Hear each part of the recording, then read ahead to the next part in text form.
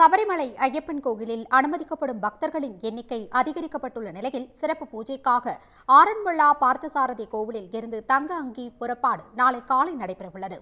புகழ்பெற்ற சபரிமலை ஐயப்பன் கோவில் மண்டல மகர விளக்கு பூஜைக்காக நவம்பர் பதினைந்தாம் தேதி திறக்கப்பட்டு பக்தர்கள் பதினாறாம் தேதி முதல் தரிசனத்துக்காக அனுமதிக்கப்பட்டு வருகின்றனர். கடந்த முறையைப் போலின்றி தற்போது அதிக தளர்வுகள் அறிவிக்கப்பட்டு உள்ளதால் பக்தர்களின் வருகை அதிகரித்து உள்ளது முன்பதிவு அடிப்படையில் அனுமதிக்கப்படும் பக்தர்களின் எண்ணிக்கை ஐம்பதாயிரத்தில் இருந்து அறுபதாயிரமாக அதிகரிக்கப்பட்டு உள்ளது பாரம்பரிய சடங்குகளை செய்வதற்கும் பக்தர்கள் அனுமதிக்கப்பட்டு உள்ளனர் இந்நிலையில் சிறப்பு பூஜைக்காக ஆரன்முல்லா பார்த்து பார்த்தசாரதி கோவிலில் இருந்து நாளை காலை தங்க அங்கி புறப்பாடு நடைபெறவுள்ளது.